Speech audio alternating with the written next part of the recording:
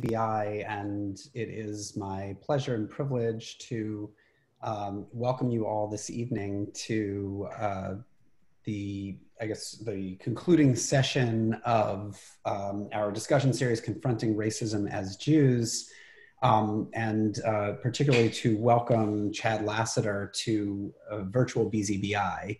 Um, and we'll uh, do that in just a moment. Um, I want to take this opportunity as tonight is the conclusion of this series to uh, thank Rabbi Batya Glazer and Jason Holtzman and the entire Jewish Community Relations Council of the Jewish Federation of Greater Philadelphia for um, putting on this discussion series for us. Um, it's, it was uh, you know, it certainly seemed to us to be a vital conversation to be having even a month ago. And um, certainly this week, I think there could be no more essential conversation to have. Um, so uh, thank you, uh, Rabbi Batya and Jason and um, all of the, the board and staff of the JCRC for working with us on this. And I want to just, uh, again, kind of call everyone's attention to a few things. Um, as this series is wrapping up, we're uh, preparing for a series of smaller scale, more intimate discu- uh, discussions, facilitated discussions of books and articles uh, hosted by Arlene Fickler and Dan Siegel that will help us further explore the impact of systemic racism and our place as Jews in the broader conversation about race in America. Um, there will be more information coming up about that as well. Um, we will also have details coming about a lecture with Dana Bazelon from the District Attorney's Office talking about uh, criminal justice reform and really focusing on issues that are impacting here in Philadelphia and uh, what the DA's office is doing to um, you know, further the causes of justice in their work. Um, and uh, most immediately, and I would say most importantly for right now, um, there's information out now, and we'll be sending it out in our email tomorrow about an interfaith prayer vigil that will be held uh, online, hosted by the Interfaith Center of Philadelphia. Um, and that will be tomorrow at 5.30. Uh, BZBI's regular afternoon service is going to be moved later to accommodate people's attendance at that. Um, and there's, uh, I'm putting in the chat box right now the registration link for that Zoom meeting. Uh, so the registration link that just went in is for the Interfaith Prayer Vigil tomorrow. Um, you can use that link to register. And uh, in a moment, as I uh, give the bio and introduction to Chad Dion Lassiter, um, that could be a good opportunity for you to listen to me while clicking over to go ahead and register to be present at uh, tomorrow's prayer vigil. Um, I'm also um, want to let everyone know that uh, Rabbi Annie Lewis and I will be uh, hosting a short worship fellowship service immediately after tonight's program. So uh, if you're interested in sticking around for a little bit of spiritual connection with others who are sticking around um, when we're at the conclusion of tonight's program, uh, we just invite you to stay on the Zoom and uh, we'll get that started uh, shortly after tonight's program concludes. I'm I'm really pleased to be welcoming Chad Dion Lassiter to virtual BZBI this evening. Um, the conversations that we've had over the past few weeks have been frank and honest and invigorating.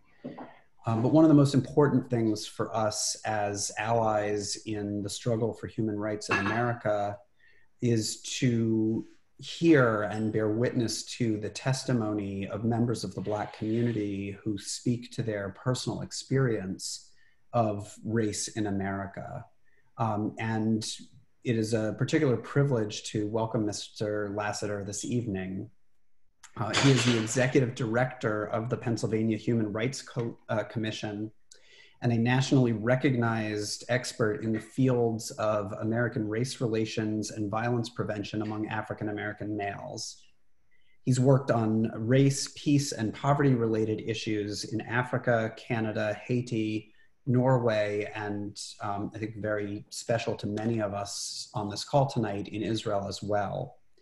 As the co director of Family, Fostering, Adopting, and Mentoring to Improve the Lives of Youth, He works with youth to improve their life outcomes by providing mentors to young people who have a parent incarcerated in a state or federal prison. And prior to accepting his current position, he was a lecturer at the University of Pennsylvania, where he was the 2008 recipient of the Dr. Martin Luther King Jr. Community Involvement Award, as well as a visiting lecturer at West Chester University in their undergraduate school of social work. Um, and so it is uh, with immense gratitude to you, uh, Chad, for being here with us tonight in what I'm sure has been an insanely hectic week for you. Um, I'm just from the bottom of my heart so happy to have you here and so grateful for your taking the time to share with us this evening.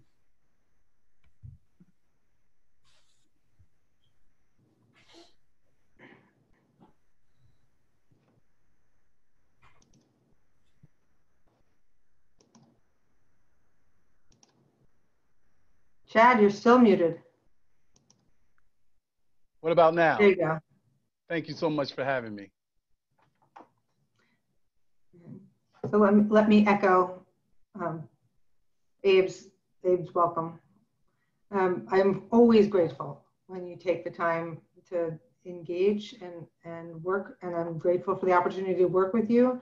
And at this particular time, um, at, when I know the community is, searching for opportunities to be engaged in meaningful ways.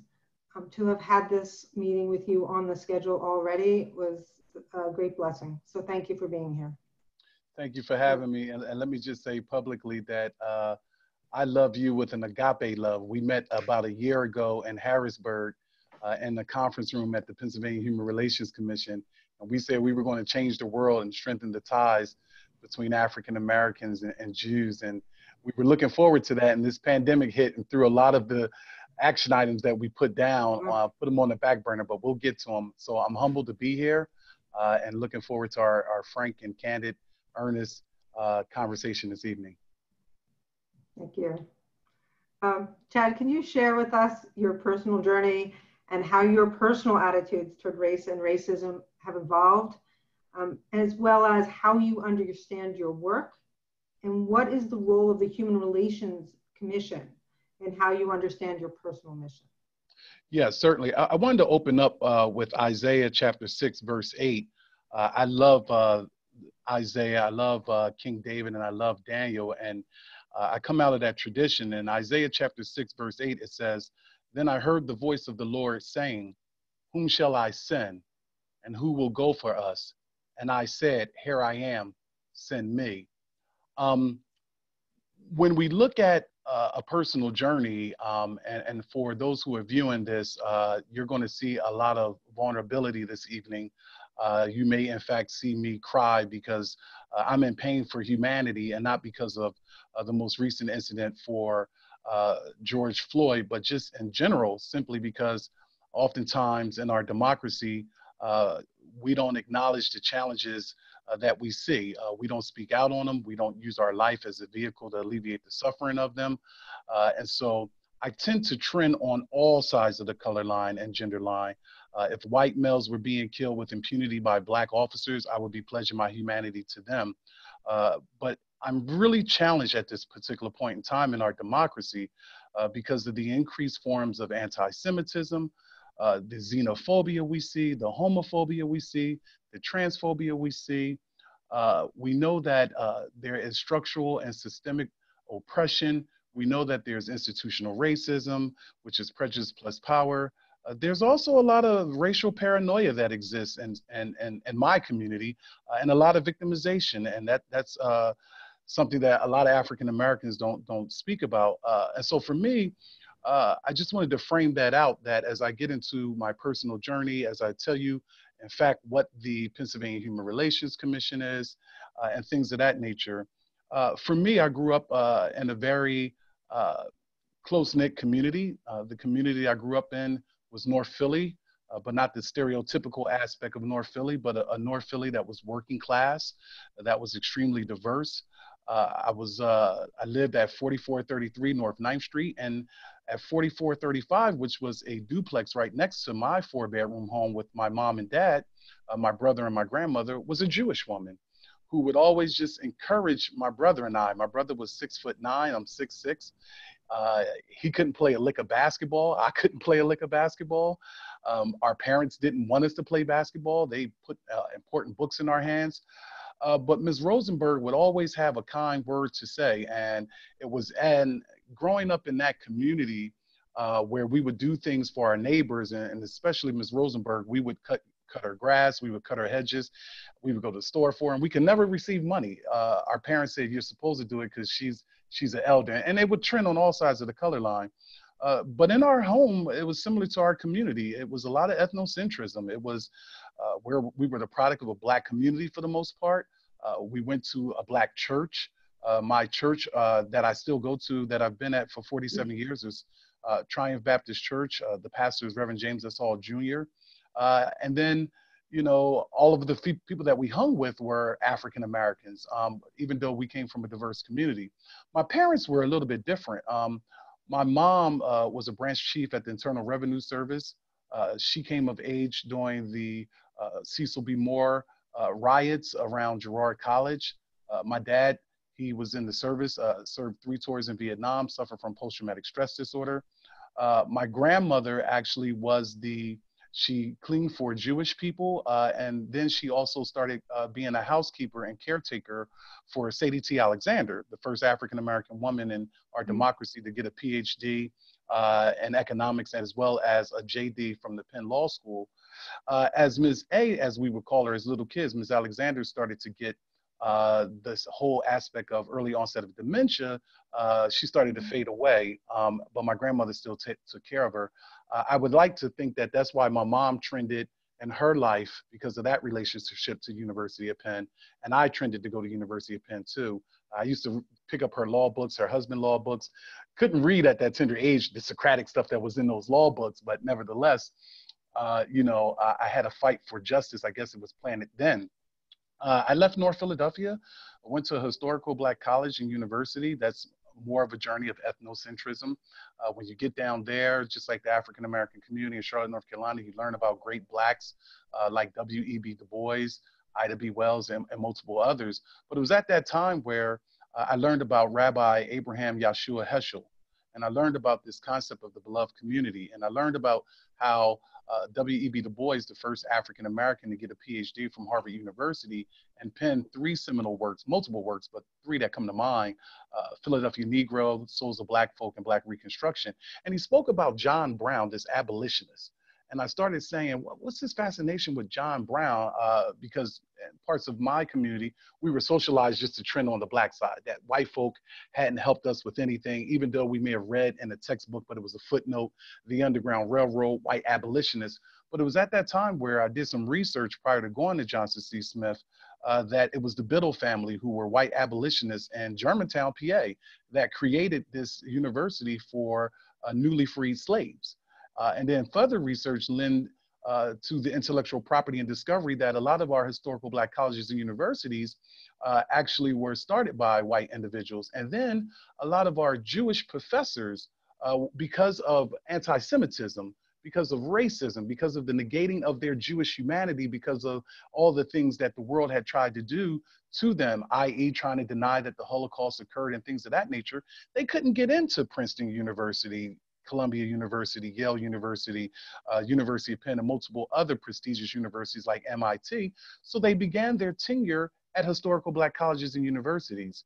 Uh, that became fascinating for me. And so it was at that time where I ended up coming upon a Jewish professor at a historical black college university uh, and, and working uh, with him, allowing him to mentor me, uh, and I'm very careful with ling linguistics, allowing him to, to mentor me because I think the most effective forms of mentor mentee relationships is when you allow someone to pour your, themselves into you. Uh, from there, I'm studying about uh, Black history, but I'm also studying Jewish history, not in the curriculum, but from him.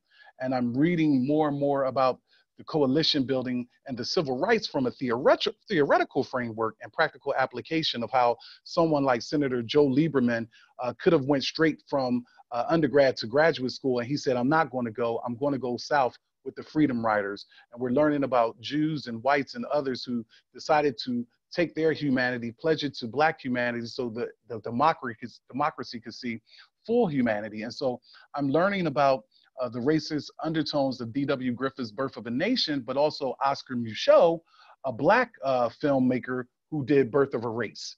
Uh, and I'm learning so much more, and I'm pushing myself, and I'm just immersing myself into multiple cultures. But I never discovered a synagogue uh, that was down in Charlotte, North Carolina. Uh, but at this time, I also wasn't going to church because I was away from the structure of my mother, my father, say your grace before you eat, and all those things. I had a couple of years when I was kind of like wayward, and I'm at a black college, and I'm leaving this Christian home, and I'm seeing all types of shades of black young ladies, and I'm just like a kid in a candy store, but in an appropriate way. Uh, and so then I come back to Philadelphia, and I start working at the uh, Philadelphia Child Guidance Center, and I met a Jewish gentleman by the name of Dr. Arthur Schwartz, who was a therapist at Children's Hospital of Philadelphia and the Philadelphia Child Guidance Center. And he said, Listen, you really seem good with children. I had got my bachelor's of social work from Johnson C. Smith. He said, You should further your education to come to University of Penn. Ah, I'm not, I can't get into University of Penn. I'm from North Philadelphia, even though, you know, at this time, I wasn't aware of legacy admissions that, you know, if your parent went to the University of Penn or, or things of that nature, you can get a couple of points on applications. That's an amazing form of uh, white privilege as well as, you know, affirmative action. Uh, reminds me of Ira Katznelson's work when affirmative action was white. Uh, but I end up going to University of Penn and now I'm in a classroom with Jewish students. And I'm like, wow, I'm, I'm, with Jewish students, but I'm still caught up in my ethnocentrism. And then I started learning a lot about the Holocaust and I started learning about suffering on the other side of the color line. Um, in a home, I never looked at other females other than African American because if you come from the black community, not generalizing the stereotype, and you know, you hear your grandmother, your mother say, if she can't take the comb, don't bring her home, meaning the metaphor, real life situation of the curling iron, kind of nappy hair and things of that nature. So it's at this time where I'm at University of Penn where I'm taking a class of American racism with a woman by the name of Roberta Everson. And the first thing I said was like, what can this white woman teach me? Uh, and she taught me so very much. Uh, there was an opportunity to take another professor who some of you who are viewing this may have heard of, Dr. Walter Palmer, who's a civil rights legend in, in, the, in the Philadelphia area. But Bobby Everson taught me a lot about myself. And then Dr. Schwartz was also a professor there. So I would spend time with Dr. Uh, Arthur Schwartz. I would spend time with Dr. Diane Metzendorf, and they would talk to me about, you know, Jewish history and things of that nature. But uh, from an important perspective and from a strengths-based perspective, the way Jews and African Americans have worked together during the civil rights and how powerful that was. And then we come to the era where I learned about Jesse Jackson making some comments while he was coming into New York on uh, I think a plane or a helicopter. And he said, you know, we're hovering over Town, uh, and then a lot of other challenges that you all are well aware of. We, we're aware of historically that brings us to the contemporary moment.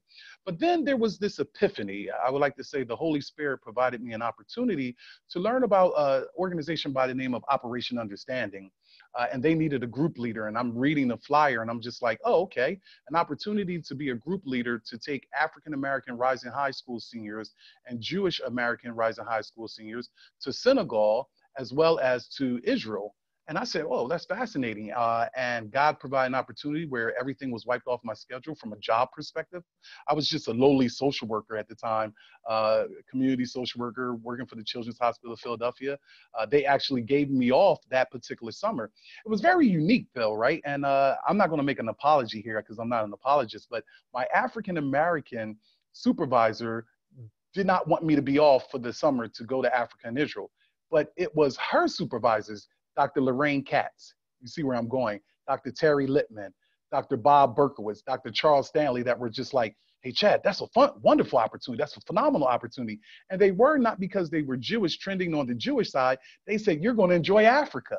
You're going to enjoy Israel. So it was the door of no return, which opened me up, connected me to, you know, the challenges with regards to the Black Holocaust. And then it was Yad. And I've shared this with Rabbi Glazer. When I'm going to Yad and I'm learning about the great intellects Sigmund Freud and Albert Einstein, and how had they died in the in, uh, in the Holocaust, we would have not had their great minds. And so that was eye-opening for me. And so then I realized, wait a minute, uh, theoretically and practically, suffering happens on every side of the color line. So I ended up coming back to Philadelphia, and from 2007 to this very moment that I'm on this uh, Zoom with you all against the backdrop of a tornado, depending on where you're at, tornado warning, it has been a growth process. Uh, in my community, uh, specifically in my home, not trying to out anyone in my home, my mother's a very fair-skinned woman. My brother was 6'9", born in Nuremberg, Germany in 1968, and he was light-skinned with curly hair. I was the dark one in the family. Colorism exists in our communities because of the notions uh, that white supremacy gives us, the hate that hate teaches and is manifested in ourselves. And my mom would say, I got, uh, uh, I got a, uh, she would label us like ice cream cones. I got a vanilla and I got a chocolate. And then when babies were born in our family, if they were dark, uh, family members say that's a pretty chocolate baby as opposed to that's just a beautiful baby. So the journey has been a continuation of just dealing with my forms of male privilege. I'm six six uh, making sure that i deal with forms of toxic masculinity make sure that i'm not actually uh, displaying with male privilege that i'm not minimizing the voices of, of others um, and also becoming a earnest and true friend with the jewish community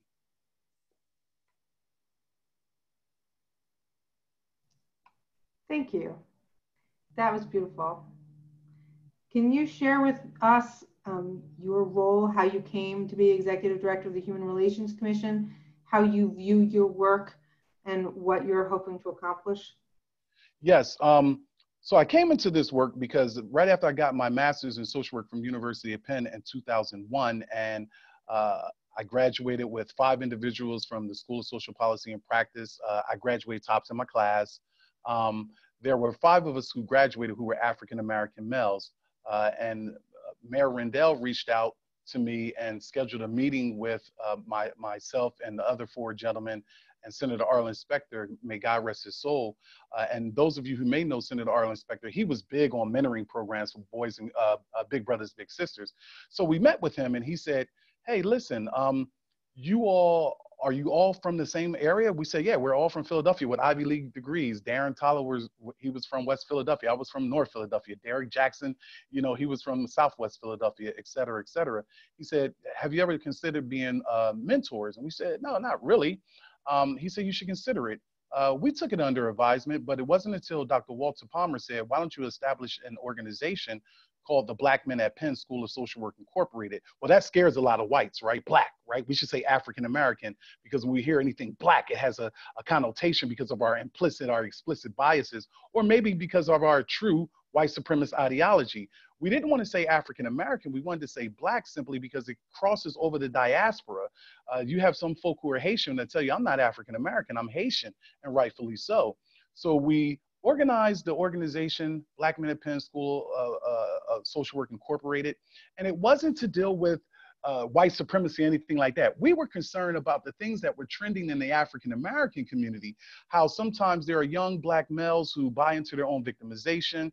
And then I'm a researcher, so I was adding the high level macro research aspect to it, where I would find qualitative and quantitative data that showed how you can have a father in the household and a mother, and you may not go to college, or you cannot have a father in the household, and your mother can be strung out on drugs. I don't want to paint a picture of pathology, and you can go on to Stanford, you can go to Cal Berkeley, because it's really about resiliency, a moral compass, a moral imperative, albeit structural, systemic oppression and inequality. So we started trending in that direction. Pull your pants up. Stop calling women bees, uh, specifically with white teachers. When Ms. Lutwig tells you to take your hat off and and you know take your headphone headphones off, why don't you listen? Why do we have to come in into the classroom and tell you, or why does some man that, that's African American and, and, that imagery have to tell you, listen to her because she's a trusted adult. So we started trending on that level and we started trending around looking at the challenges of mass incarceration and its impact on families. We moved from there to recognize that we had to do anti-racism training in urban, suburban, as well as in rural schools. And so my work started there. And then someone took a, a, a you know, it was like a prayer. Someone just prayed for me and then said, listen, we think that you would be good as a professor. I didn't have a PhD, so I started teaching courses on American racism and social work practice at the University of Penn and did that for four or five years. Uh, and then left there, went up to West Chester as a visiting scholar for about 11 years, and then was the executive director at the Red Cross House, another level of, of service. Uh, let me pause here and say, I've never had a job. I've always had assignments by God. And so the next assignment was the Pennsylvania Human Relations Commission. Whoa, wait a minute, what is that? Did some research around there, uh, around that, looked at it in the context of Barack Obama simply because when he became president, we were so quick to say we live in a post-racial society when we know post-racial is a mirage. Looked at the current context of the current president and said, I'm a black kid from North Philadelphia, even though I've traveled the world uh, and spent time in Charlotte, North Carolina, I'm going to go to Harrisburg. Those of you remember when James Carville, the Democratic strategist for Hillary Clinton and Bill Clinton, said you have Philadelphia, you have Pittsburgh, and in between you have Kentucky. Uh, but I ended up taking this assignment by God. Uh, I've been here for two years. Uh, and so everything that grew me, the black church, coming out of the black church tradition, when Martin Luther King says the moral arc of the universe is long, but it bends towards justice. The Jewish stuff that I've been reading about Rabbi Abraham Joshua Heschel over the past 10 years, all of this stuff and all of these experiences, whether they've been good or indifferent, has put me in this moment right now where a kid from North Philadelphia is head of a civil rights agency uh, and, and is a top one in the Commonwealth.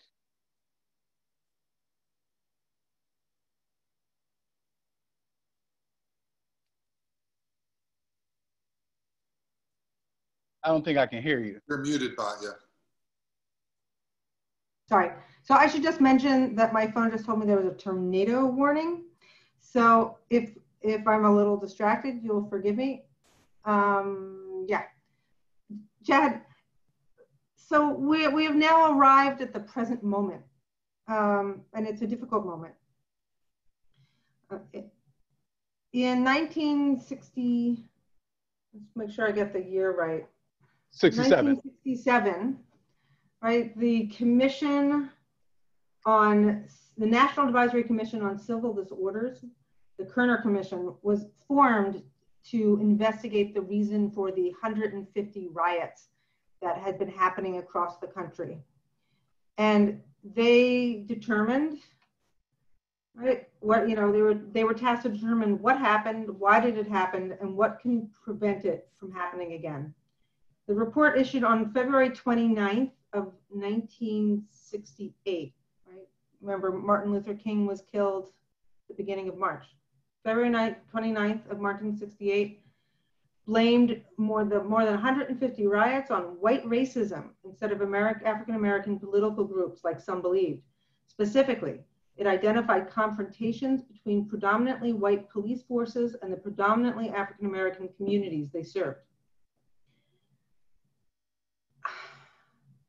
That's hard because that was in 1967 and here we are. And it doesn't feel like a different space. Do you see do you see that th- that anything has changed? Do you see any reasons for optimism? Where do we go from here? Great question and and and, rabbi let's let's be mindful to uh, before we leave um, uh, give a quick uh, overview of what the Pennsylvania Human Relations Commission is. I, I, I, I, I skipped that so that our viewing audience can know. I think in context, that Kerner Commission that said that there are two Americas, one black, one white, separate and unequal, we can fast forward to the contemporary moment. And we can borrow a little bit from W.E.B. Du Bois when he said the problem of the 20th century is the problem of the color line. What Du Bois was saying is that the problem in America is white supremacy. Uh, for everyone that's viewing this, Hear what I'm saying. That's not an indictment against white people. Uh, what Du Bois was simply saying is that the power structure of institutional racism are policies. If you remember, the first 12 presidents of the United States, as astute as they were, as intellectual as they were, as brilliant as they were, they also owned slaves. The first 12 presidents of the United States owned slaves. Uh, I, I, carry around, I don't have it on me now, uh, a book called Civility. It's a book by, uh, you know, uh, Ben Franklin. And, and what it talks about is like if you sneeze or a woman sneeze, hand her a handkerchief. I just, I love it. I've also read the autobiography of Ben Franklin because he's, he's a scholar. But when Du Bois was talking about that, he was simply saying that black people, when he did the Philadelphia Negro, the first epidemiological, uh, sociological study of black life here in six uh, and, and, and the sixth ward, uh, he was saying that black people have problems, but they are not the problem. America will have you to believe, and it seduces you into race and believing that black people are the problem. And so the Kerner Commission talked about riots, the same things that we had then, we have now, uh, aspects of it. We had educational apartheid then, we have educational apartheid now. We had American apartheid with the construction of, of the ghettos and segregation. We have that now. Deep rates of poverty, we can do a correlation to now. What a lot of people don't know is that Dr. Martin Luther King Jr. was also a fair housing advocate who left the South, came up to the tenement squares in mm. Chicago and lived in those tenement squares and said, wait a minute, I, I see the same challenges that I saw down south that I see up here up north. So when the Kerner Commission came out, people wanted to be in denial about that, right? But then why do we have Brown versus Board of Education? Why did we why did we have to push for legislation with regards to institutional racism with the Montgomery bus boycott? And so that Kerner Commission was similar to where we're at now. Civil disobedience, nonviolence, I come out of that King tradition, has always existed. Uh, Jews have always pledged their lives, if we look at the civil rights movement to, to now, around efforts to show full humanity um, of, of African Americans. But what we had was institutional racism, and yes, it's polarizing for people to hear white racism. White racism, white violence, right? And that's once again not an indictment, but nowhere historically can you give me a group of African Americans who have engaged in the reign of terror like the Ku Klux Klan. Or, and we and we do know we have African Americans who are demagogues and are anti-Semitic, and we know what those organizations are. But what I'm talking about is this reign of terror. So the riots were once again when King articulated in context it's very important to, to, to, look at context that riots are the language of the unheard. Because in this contemporary era, people will say, yeah, King said riots are the, the, uh, uh are the language of the unheard. I'm not sure King would tinker on what we're seeing now, but we'll get to that. So during that era, what you had was uh, forms of disadvantage, structural inequality. It gave rise to the Black Panthers. But remember, every since Amer- Africans have been t- were stolen from Africa as as human beings and brought to Africa, turned into slaves. It's always been a suspicion and surveillance of them. Harriet Tubman was freeing slaves, but because of menticide, you had a lot of slaves at the time who would go and tell on Harriet Tubman, i.e., snitching. And so Harriet Tubman would say, she stated, I freed thousands of slaves and would have freed thousands of more had they only known that they were slaves. Um, and, and if I messed up that quote, I apologize. So what we had was the surveillance and the suspicion of black bodies. Folk were locked out of the economy. You had economic injustice, environmental racism. You had people violating the Fair Housing Act. And so during that time, it was turbulent. And then the leaders during that time were being killed, right? I mean, we in, in that era, we, we didn't, we've never witnessed someone like Robert Kennedy, you know, get murdered right on television. John F. Kennedy get murdered right on television. And then you also didn't just have Martin Luther King, you had uh, El Hajj Malik Shabazz. We don't leave him in the role of Malcolm X when he was anti Semitic. He goes to Mecca and recognizes that people with the palest of skin, with the bluest of eyes, were also human beings as well. But we also had the killing of Medgar Evers, and then we had the Mississippi burning of the two Jewish brothers who lost their lives. So the Kerner Commission was very revealing. And then here we are in 2020. Here we are in 2020, and you have educational apartheid, environmental racism, economic injustice, uh, and what you also have is the killing of Black people rendered disposable in our democracy. Whiteness provides an opportunity for the mob to be protected, but not those who get mobbed. And so it's convenient how some white officers are able to take white perps alive. So let's look at George Floyd really quick. Uh, he gets arrested for a fake $20 bill. Well, maybe he didn't know it was counterfeit. Well, let's say it was counterfeit. Should not cost him his life. Bernie Madoff, he swindled. We talk about looting. Bernie Madoff looted millions of dollars. He goes to prison. We talk about looting. Our democracy has been looted by the oligarchs, the plutocrats on in Wall Street, as well as the robber barons and the carpetbaggers. So then we come back to George Floyd. Horrifying to hear, you know, I can't breathe for the second time when we heard Eric Garner say the same thing. But we don't focus on the other two things that he said. He called out for his mother. And I'm not trying to be racially uh, uh, satire here, but he said, Mama! And then he said to the officer, I don't want to die. Let's let that sit for a minute in our spirits. I don't want to die.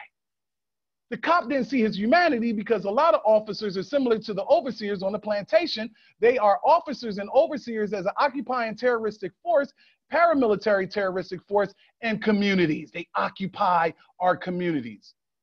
The officer himself is a human being, but he didn't see the humanity of a, another individual. Hand in his pocket looked like he was getting gratification out of the killing. So where are people at now? 35 million people are out of work on every side of the color line. A pandemic that keeps people in their homes except for those who have essential uh, uh, responsibilities. Not speaking for those of you on the call, but I'm privileged, not because I work at PHRC, but I telework. I get a check. This Friday, I'm going to get a check. I get sick, I got health insurance. But we have people who are broken. They were already broken because of the experiences of white racism, because of the experiences of white violence. We hear black on black violence, and that occurs, but it's a myth, the terminology. People kill people that they're in close proximity to. Whites kill whites, blacks kill blacks, Asians kill Asians, Latinos kill Latinos. And so when we say the Kerner Commission revisiting the 21st century, there's still police brutality, there's still economic injustice, there's, there's still high rates of poverty. I'm not pessimistic, I'm not optimistic. I am a prisoner of hope. Why am I a prisoner of hope? because I know that there are good people of good faith. I'm not talking religiosity or spirituality, but there are good people of good faith like you and people on this call. And the challenge that we have in the African American community, we act as if Jewish people, white people, and others are not mourning the same thing. And so you all, as, as Jews, sometimes you have a hard time saying, hey, I'm sorry about what happened because your black friends, your black family members, your black colleagues will say, you don't know my pain. No, but I don't have to know your pain. But guess what? As a Jewish person, put your arm around me and say, hey, Chad, hang in there. I'm sad that this occurred. And if I say, get off of me, you don't know what, what's going on. Chad, you need this hug. I'm not going to let go. Nowhere in the history of that example have I ever get, that I just provided has a black person said, get off of me and got into a fight with a Jewish person. And so I believe that what we have seen is this aspect of blacks, Jews, whites, everyone pledging themselves together across America. But we've also seen what we call white supremacist interlopers and agent provocateurs and fascists who have integrated themselves will throw a Bernie Molly cocktail and hide behind a sign that says no justice, no peace.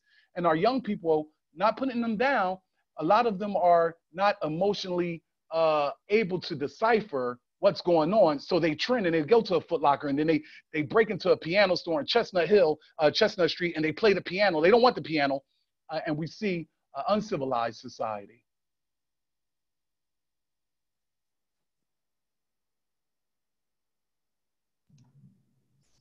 So where do we go from here? Yeah, I actually love that, the phrase of prisoner of hope. That's really beautiful. Um, hope's hope's been complicated lately. Yeah, it um, has. Um, I think one of the things I wanted to back up is just say for those of you, um, please tweet me, not for Twitter followers, but so that we can continue this dialogue. I'm, I'm at uh, at Chad Lassiter at C H A D L A S S I T R on Twitter. Um, I would be disingenuous, Rabbi, uh, to you, to your audience, and to my very own humanity to articulate where I think we go from here. I would be placating everyone. I would be uh, displaying with false generosity, and I would be disingenuous. Uh, one of the things that I think needs to happen is, in context, we have to realize that civil disturbances um, in context occur. Anger is real, and anger is justified. But out of the King tradition of civil disobedience, nonviolence, I believe that it has to be coalition building on the Jewish side and on all sides of the color line.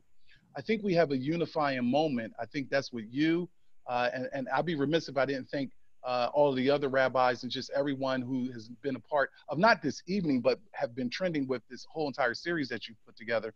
We have a unifying moment to look at our humanity. I think the black white binary is essential because uh, if we look at black humanity, we see black people as humans uh, then we can understand what they're going through. Uh, when when when Baldwin talks about to be a Negro in America is to always be in a constant state of rage. I think that's real. I think frank conversations on white racism and white violence needs to occur, and I think that whites uh, can also be part of those conversations. You don't have to be Joe Feagin. You don't have to be Paul Kivel, who had, wrote the book Uprooting Racism. You don't have to be David T. Wellman, who wrote the book uh, Portraits of White Racism. You don't have to, the new book that trends, Be Anti-Racist. Uh, that's good. At the end of the day, uh, we could talk about allyship. My grandmother would say, just be a good person. Dr. Arthur Schwartz would just say, just be a good person. Um, I think we have to continue to be uncomfortable with having these conversations around race and racism. I think we have to address the suspicion uh, and the surveillance of Black bodies. But I was encouraged by what happened today in Minnesota under Attorney General uh, Keith Ellison uh, and the white governor. I was encouraged by the white mayor who came out and said he understands the 400 years of oppression that Black people are living with. Uh, what we saw today was we saw the amended complaint uh, for a stronger charge. We also saw how linguistically Attorney General Ellison mentioned we're bringing in the other former police officers. That was a paradigm shift from their identity. They're no longer police officers. When you engage in that type of barbaric behavior, even if you sit by silently, you're complicit. He talked about justice and he talked about co- uh, collaboration. And I think we have a collaborative moment where, as African Americans and Jews, we can have a collaborative struggle for the humanity of African Americans. That means that we know from a position of power, we have influential people on every side of the color line. How can we influence policy? How can we do a writing letter campaign to say, we're going to try to address some of these disparities in the criminal just us system uh, and bring justice for all? How are we going to not just march and protest, but similar to the civil rights movement, lay it on the line? Um, and I think that there's a lot of other things uh, that we can do. We can join organizations, we can join groups, uh, we can promote those organizations that are working. That's why when I met you and, and, and several others who were in, in this Zoom from the Anti-Defamation League, uh, we have to be willing to, to listen, we have to be willing to learn. But I think that beyond listening and learning and having a kumbaya, touchy-feely, we shall overcome, tiptoe through the tulips moment, we have to be real with ourselves that uh, racism exists. And we also need the African American community to trend when anti Semitism occurs. So when the killing at the Tree of Life occurred, I understand that, and I learned this that the Jewish community is a very close knit community. So I had to push through some things with some lead, Jewish leaders in, in, in, Pittsburgh. They didn't know me. They just simply said, "Well, we we have uh, therapeutic interventionists. We do it in this tradition," and I had to learn that. But I did get out to the P- Pittsburgh Seminary School, and we had a conference, and, and I was talking about some of these things around anti-Semitism. And so I think we have to all be on the same page, and then we have to deal with our own isms, right? We have to be comfortable uh, as an African American. If someone said, you know, Chad, you have some explicit, explicit bias, implicit and explicit biases, um, I have to be comfortable with that. We have to be comfortable when someone says, hey, you might be trending um, as a racist, and it doesn't mean that they're trying to say that you know uh, they're negating your humanity. Um, and we have to be so comfortable to sit with that and not think, oh, they're being anti-Semitic because they called me out on a form of effective uh, prejudice, a form of you know uh, discrimination. We all have those things. Um, I think there are lots of things that we can do. Uh, and I know that this is not the last time that we're going to be talking about that, but those are just things that, that come to mind. Coalition building, uh, we have to fund organizations. We have to fund organizations that are doing the work. I'm not I'm not going to get caught up in the dichotomy of Black Lives Matter and all that, but there are some really great organizations out here. So for instance, really briefly, when you talk about the PHRC, we were created in 1955. We have 11 commissioners, six are, are, are Democrats, five are Republicans. We have three regional offices, one in Pittsburgh, one in Harrisburg, one in Philadelphia. Uh, we have a complement of 96 great individuals. Uh, we receive complaints from all 67 counties. Our website is www.phrc.com. Uh, we enforce state laws that prohibit discrimination. Our PHRA, which is our Pennsylvania Human Relations Act, it covers discrimination in employment, housing, commercial property, education, public accommodation, and the law prohibits discrimination based on race, color, religious creed, uh, ancestry, age, sex, national origin, familial status, handicap or disability, uh, support of guide animals, as well as retaliation for filing complaints. Uh, we take complaints in from the EEOC as well as from HUD, but we don't just process cases. We launched a No Hate in Our State town hall on the heels of the resurgence of the Ku Klux Klan down in York. Uh, at our first town hall, a gentleman who identified himself as the Grand Dragon from Hershey wanted to speak. And I said, come up and speak. Much to the dismay of a lot of my staff who were in attendance that night and about 56 people who murmured, oh, don't let him speak. I said, no, we have to see his humanity as well. I wasn't trying to First Amendment rights, freedom of speech. I actually saw his humanity, albeit wretched uh, and white supremacist, but I saw his humanity nonetheless.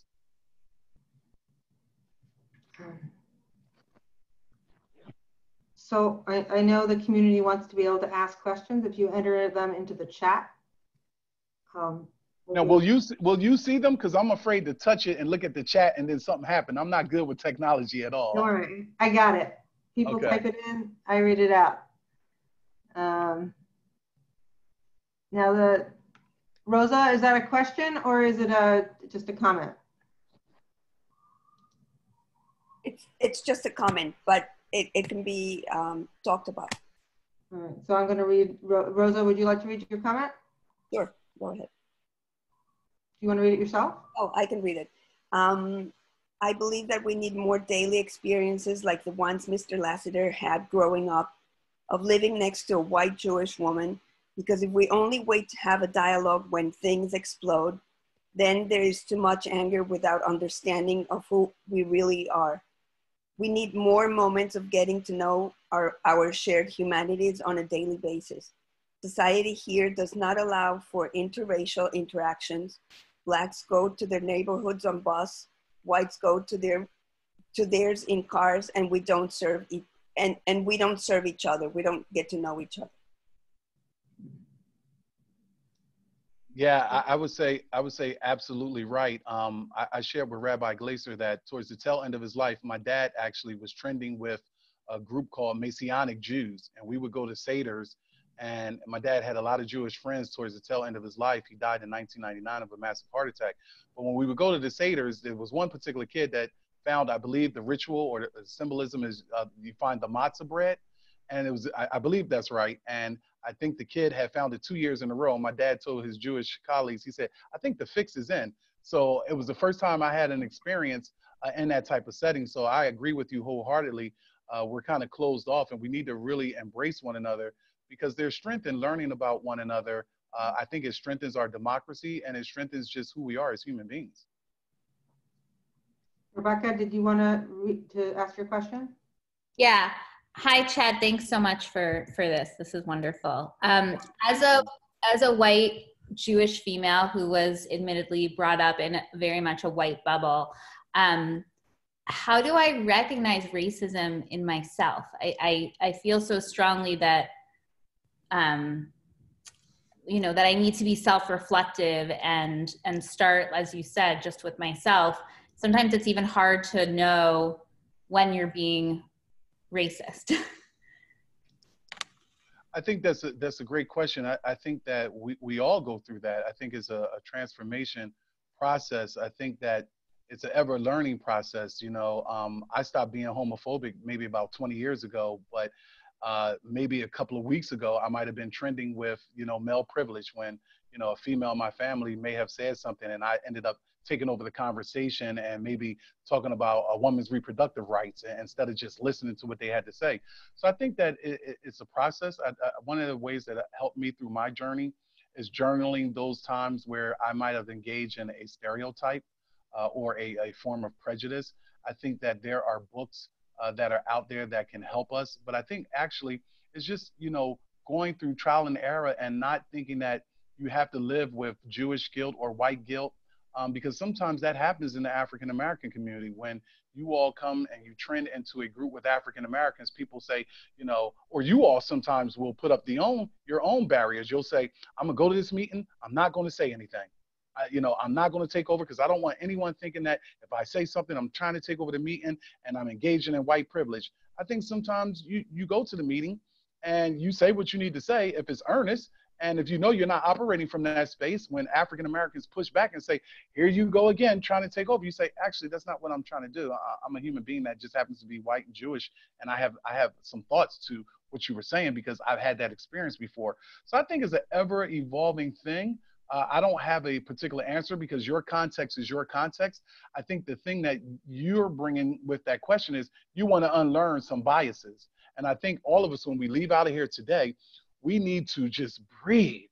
We need to just breathe and recognize that some of the things that are embedded in us are not true. So really, really quick, uh, when I was working at the W.E.B. Du Bois Collective Research Institute at University of Penn, I would get on the elevator at the first floor, and, and the office that I was at at 3440 Market Street was on the seventh floor. Uh, white people would get on the elevator and they would say, Hey, wow, you're tall. Do you play basketball? And my racial protective factor was, No, I'm into equestrian. And they would say, What kind of horses? And I would say, uh, Arabian horses. Uh, and that would always be my protective factor until one day uh, a white woman got on the elevator. She said, Whoa, you're really tall. Do you play basketball? I said, No, I'm into equestrian. She said, uh, what kind of horses? I said, Arabian. She said, what kind of breed? I said, I play basketball. you know, I just got tired of those racial protective factors. Uh, so I think we just continue to be authentic as best as we possibly can. We monitor our behavior, and it's okay for a black friend or a Jewish friend to call us out on our forms of prejudice.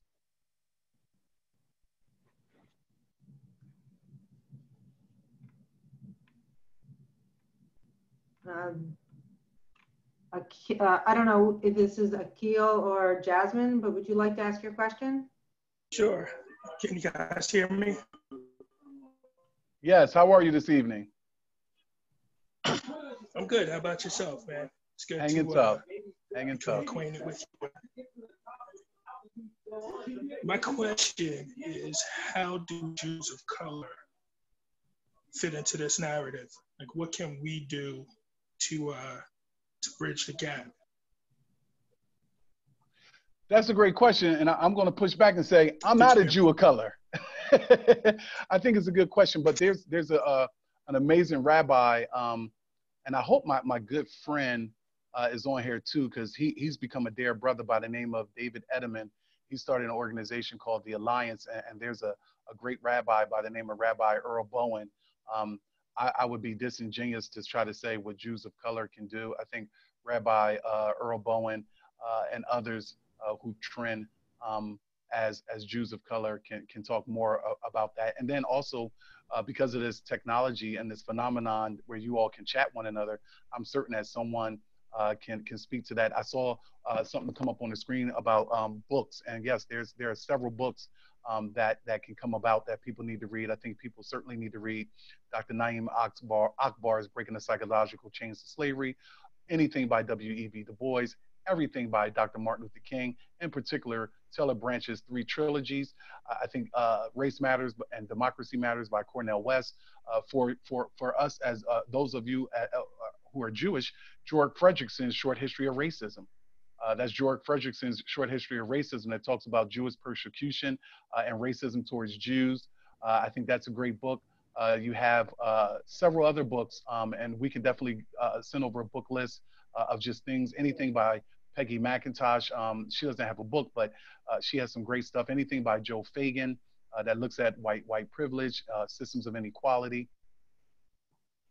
That'd be great. So, Chad, if you could share that book list with me, we'll send it out to everyone who registered. Okay. Um, yeah, if I can just jump in for one second. Is that all right? Well, oh yeah, yeah, certainly. Sorry, so I'm um, Akil. I'll say um, as your rabbi that um, I think one thing that is just vital is for for you and for everyone in the congregation, regardless of race, to um, to bring your whole self and to speak your truth and share your stories and your experience. Because I think, you know, that that certainly within our synagogue community helps us understand each other. And I think that you and the other Jews of color in our community are an important bridge, um, in the sense that you you live first person in the Jewish community and in the Black community, and um, you know, and, and your witness to that um, in a way that I think is is incredibly valuable and meaningful. And I think you know wherever that comes up for you, in classes or in social settings or or what have you, um, that I, I would love to just know that you feel like you can speak your whole truth in any of those contexts. Shana, would you like to read your question? Uh, sorry. I had Not my, at all. I didn't mean to sneak up on you. okay, hold on. Uh, am I up? Can you hear me? Oh. Yep. Okay, great. Um, so I am wondering, and I've been uh, sort of engaged in, in this practice for a while, and Rory Michelle just um, commented with some some feedback. But where I've been for the past week and a half, and you know, for quite some time before that, is how to respond to and engage in the um, with people who don't see themselves, right? They don't self identify as racist, but they say, you know, Black Lives Matter as a statement is racist. Why don't we say all lives matter? And uh, what was another um, example I put in here? Um, oh, that the concept of, of white privilege is racist in and of itself, and it doesn't exist. Um, another one that I've been seeing a lot lately is quoting Martin Luther King out of context. Um, and there's a certain back and forth. You know, I find myself wanting to engage on Facebook as a platform because I know, you know, I used to be the BZ, the USY advisor at BZBI, which is the um, teen youth group movement for conservative Judaism. And, you know, some of those kids are, are my friends on Facebook. And I want them to see that, you know, you can have um, conversations with decorum and and engage back and forth. And sometimes you come to an agreement sometimes people are misunderstood.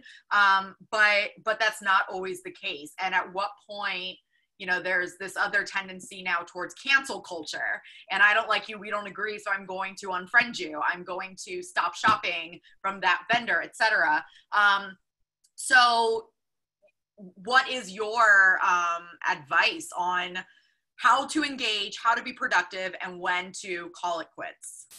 Yeah, uh, great question and, and, wonderful framework. Um, I want to unpackage the aspect about what you said about Dr. Martin Luther King.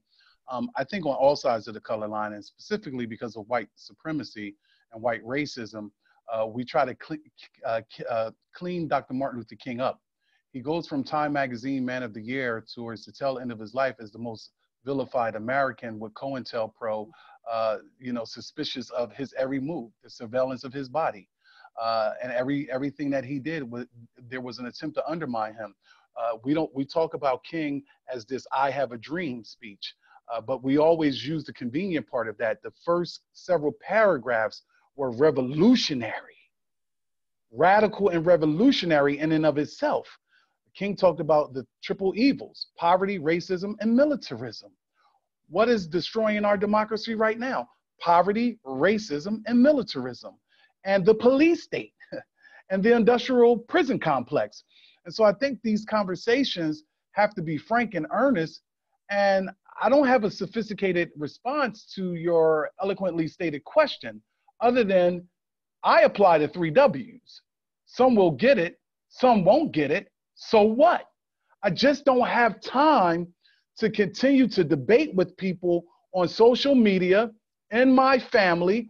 Uh, I had church members at Triumph Baptist Church who believes that the challenge in Philadelphia is black on black violence.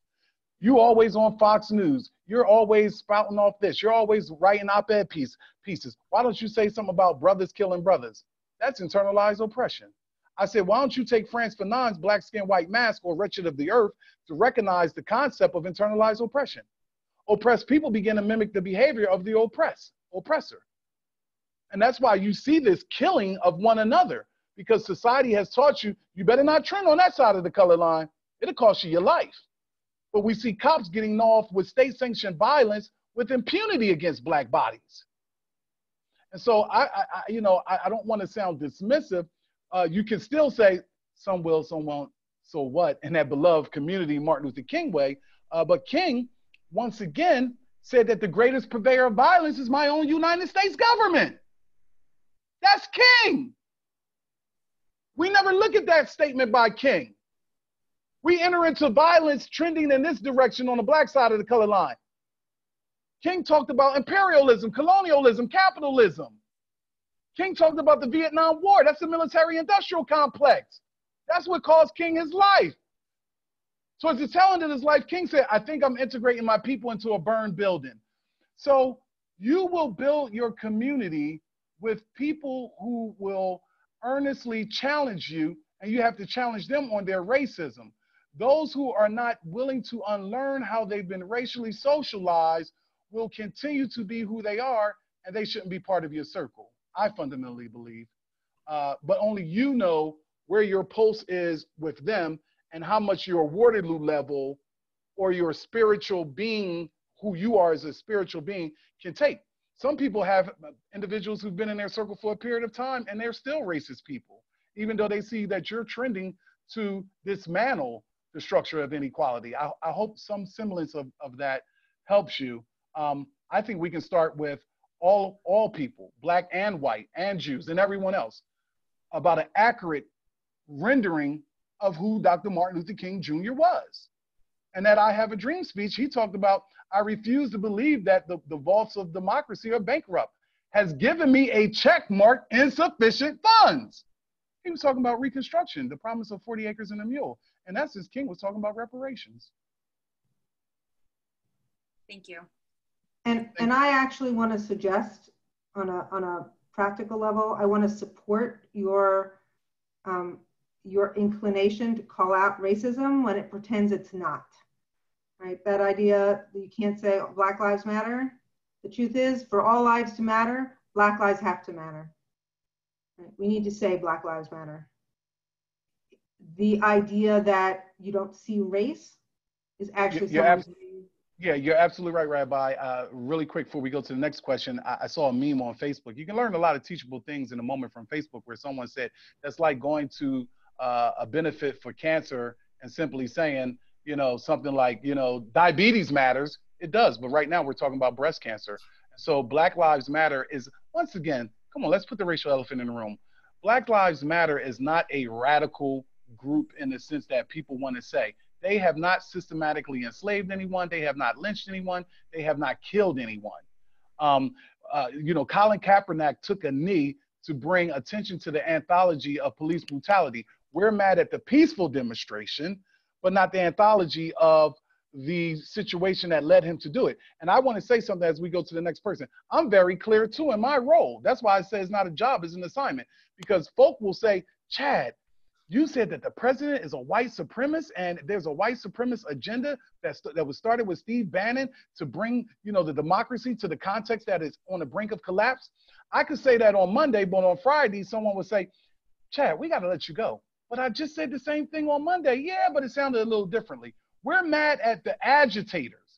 But Frederick Douglass told us agitate, agitate, agitate. So as Jews, agitate, agitate, agitate. As human beings, agitate, agitate, agitate. And hopefully, you know, it won't trend where we lose our jobs and the cancel culture that you were so eloquently talking about. And I'm, I'm, I'm sorry, I hate to, such, these are such beautiful impassioned speeches and I'm giving you little, little quips to say back. So, but I'm just going to give you another one. When someone says you they don't say see race, they mean they don't see racism.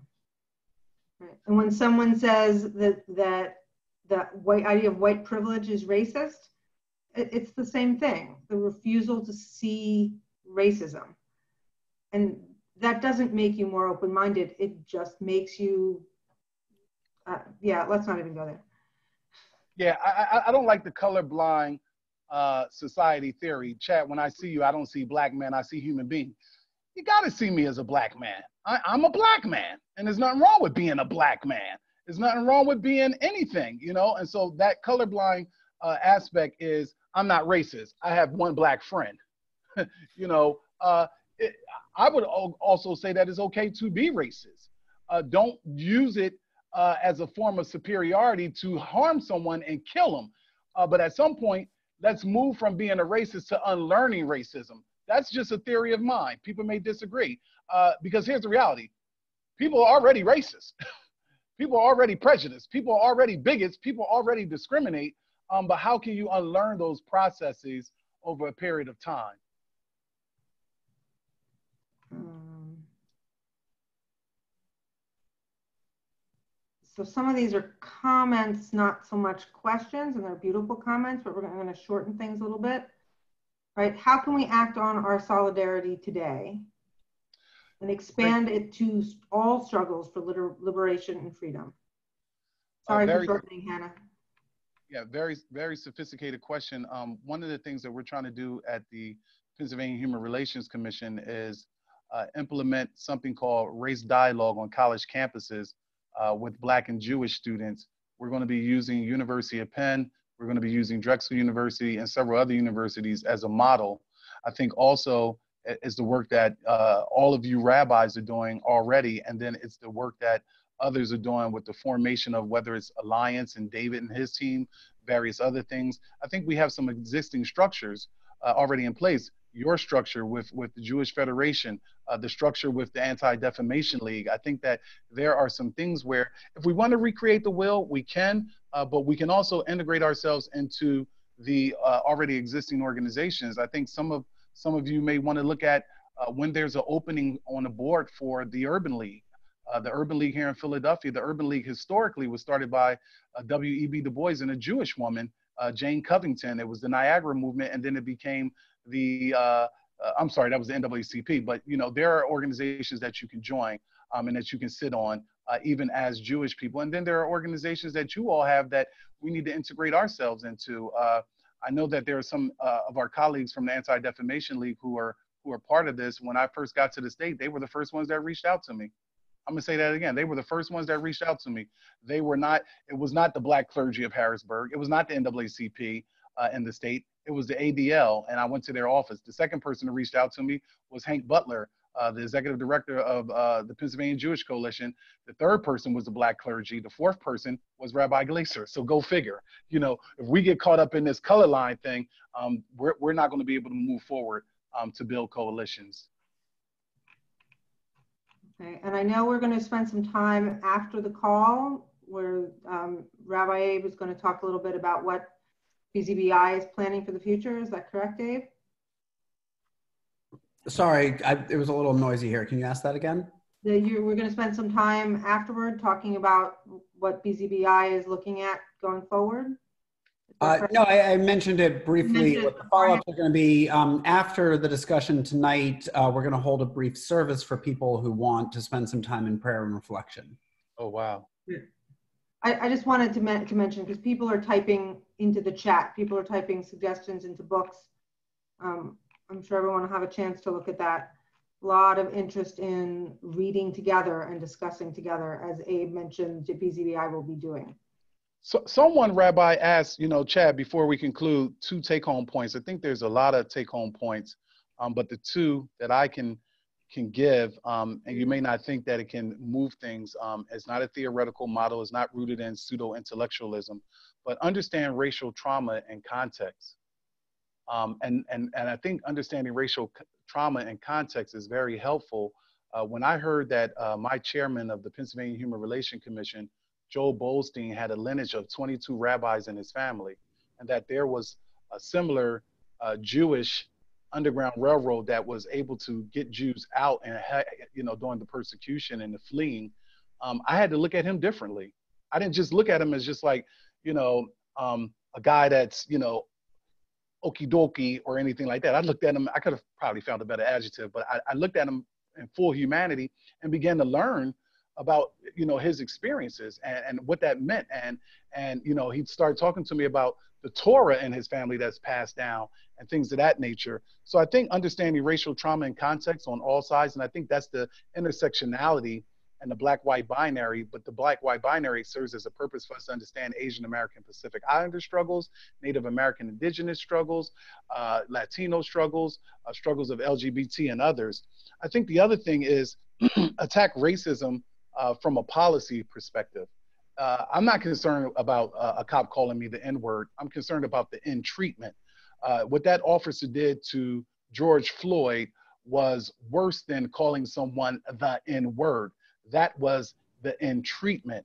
That was the N word treatment. That was the, the degrading of a person, the humanizing of a person. So I believe uh, some takeaways based on what I saw in the chat understand racial trauma and context, attack racism from a policy perspective, uh, we have to make sure that We do writing letter campaigns that we use our, our, our, our white skin privilege uh, on behalf of Black humanity as it relates to the criminal justice system, uh, criminal justice reform, things of that nature. And then the third thing, which has been a thread throughout this entire uh, evening's conversation, is a takeaway is coalition building.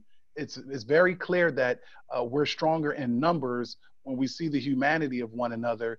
African Americans need to trend on the side of, of Jewish Americans when anti-Semitism is happening. And it doesn't have to be tree of life, but those jokes that we say in our African American community and our African American homes, those deeply embedded stereotypes about Jews and things of that nature, we need to call those things out as African Americans. And if it calls us losing our, our brother or our sister, uh, then we need to lose them. Um, what I mean by that is we need to disassociate with people, even if they're in our family, who engage in hate. The question becomes are Jews willing to do the same thing? When there are Jews amongst you who may have a deeply embedded stereotype, and you're like, well, no, that's not all blacks. Because I've been in environments where people say, well, Chad, you're different from the rest of those individuals. The rest of them, how? you know, we're not a monolith, you know, uh, but in fact, we are humans. So I would say those are some take homes. And then we we can work on some takeaways. Um, I think ultimately, the last thing I'll say about that is it has to be a call of action. We have to call the powers to be to a place where they will do right by all people. Um, but at this particular point in time, uh, we know in America it's been protracted with 400 years of racial trauma.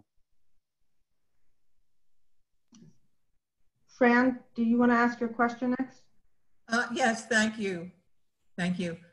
Uh, thank you very much, uh, Chad. I, I'm very concerned about the police in Philadelphia and I saw them using the tear gas on Route 676 to clear people away and their history with the 300 police who were fired with the Facebook uh, posts and whatnot. And do you think that, have you been asked to get involved with the new chief of police, Outlaw? Have you met with her and have, have you been involved with anything to do with the Philadelphia police and uh, have you been engaged with them? Have you been that, asked? yeah, that's a great question. Um, I have not, not not with her. Um, when Mayor Michael Nutter was the the mayor, um, I chaired his reentry transition team, his prison transition team. I was on the board of trustees for eight years, board of trustees Philly Prisons for eight years, and board of trustees for community college for six years. So I've had good relationships with former police commissioner Charles Ramsey, uh, former Commissioner um, Richard Ross, aside from the sexual harassment stuff, and I don't want to dismiss that. Um, I don't want to uh, minimize that, but I had a great relationship with him. I've known him ever since I was a young kid. Um, his dad eulogized my brother. His dad is one of the deacons at my church. I just give you that for context because when Outlaw got here, um, I wanted I wanted to meet with her as the head of the top civil rights enforcement agency, not from a egotistical standpoint that I mentioned that, um, but you know, uh, they always gave me someone in between. Um, and then yesterday, Senator Vince Hughes, uh, he held a meeting. I've known him since high school. All these people just seem to be in these positions for a long time. Maxine Waters, Nancy Pelosi, Joe Biden, everybody, right? we got to train the next generation, pass that mantle along that Martin Luther King wasn't able to do because he was assassinated. But uh, she wasn't on the call yesterday, but her her first, her deputy chief in, in, in command was. And a lot of people were asking just that question that you were talking about, the over policing um, and the struggles that are in the community. You know, um, people are taking uh, peaceful protests, um, and, and, why why are we shooting them with tear gas uh, and things of that situation? Um, I think that that becomes a challenge. I do plan, though, as uh, as a commission, along with our commissioners, to get a meeting with her um, you know, uh, I do. It's ironic that I'm from Philadelphia, right? I think your question is just brilliant. I'm from Philadelphia, and I can meet with police chiefs in Carlisle and Hazleton and Erie and Pittsburgh and, and Link, Lancaster, but in Philadelphia, I can't get a meeting. But I'm a, I'm a prisoner of hope that we'll get a meeting. What I've seen, similar to you, is very disturbing with with the tear gas. It's it reminds me of, and then when I heard that the National Guard was coming in, it ended up taking me back, uh, and, and a lot of you are much wiser than me. That's a kind way of saying much older. Um, you know, it, it, takes us back to Kent State. Right. Um, you know, uh, Kent State and, and, South Carolina State and North Carolina A&T. And so I was I was terribly frightened. Uh, but I did share an ending with Senator Vince Hughes that it's, it's time for him to convene a meeting with her and the PHRC Commission, uh, simply because uh, under our Pennsylvania Human Relations Act, one of our, our statutes is that we have to monitor civil unrest. So there could be people that can bring complaints to us because of forms of police brutality. So it's very important that they hear from our perspective because we are also not just an enforcing agency, we're a law enforcement agency as well. Steve? Uh, first, I want to say uh, I want to say thank you, uh, Chad. Uh, you are truly a, a fount of, of, wisdom and knowledge and experience. Um, and this has been an extraordinary session. I also want to thank Rabbi Batya and JCRC and uh, Rabbi Abe and BZBI for hosting and sponsoring this session, which has really been uh, remarkable. Um, Chad, you mentioned uh, the, the issue of legacy and, and, and history, and I want to want to push that question uh, or ask a question further about that. Um, what would you say are the um, the most significant or, or harmful aspects, both past and present, in terms of uh, Jews' racism towards blacks, number one. And number two, what the same question, you know, what are the most uh, significant, uh, harmful, dangerous aspects, expressions of, of black anti-Semitism, uh, both past and present? Man, that, that's a great question. Um, as I've done throughout, uh, first let me say thank you for for the more than than kind sentiments. Um, I found them very touching, and also let me simply say that um, I feel like this has been a safe space uh, for me throughout, um, and, and I'm, I'm, appreciative of that. Um, you know, that that's a great question. Um, I, I, for me, when I look at it, I'll start with the latter and go to the former. Um, my history with regards to uh, the, the anti-Semitism and the racism towards Jews from blacks uh, tends to be not limited, but I'm very aware, and I'll say it on this call. Uh, so if there are any African Americans on this call, I will use my male privilege to protect me if anybody want to come after me for this. But just be mindful, I don't know how to fight. I'm a big teddy bear. Uh, but I'm aware of, you know, the anti-Semitism that has come from the Nation of Islam and Louis Farrakhan. Um, it's been vitriol, it's been anti-Semitic, and it has been anti-Semitic for a period of time. And I'm okay as an African American to stand alone for people to say, oh yeah, but they cleaned up uh, the projects, or you know, when you come out of jail uh, and you come to you know the mosque, uh, this is what they've done. They've been able to recreate new identities for black men. Uh, you, I hear that, but uh, I, I, don't I don't buy that um, in that sense, right? That's good, right? But the, the notion of being anti-Semitic uh, from that perspective, I find polarizing. Some some of you, because I, I can't see everyone because I'm just on my phone. I do see you. So if there are any African Americans in here, you know, you can you can tweet me or email me. You may be. Yes, there are. Yeah, I know that it is. I'm just saying I can't. But what I'm saying in, in general, you may be offended by that comment, but uh, he's very anti-Semitic, and the Nation of Islam has had a history of anti-Semitism. The other history that I learned uh, when I joined Operation Understanding was, you know, the comments that Jesse Jackson made, uh, and those were very polarizing.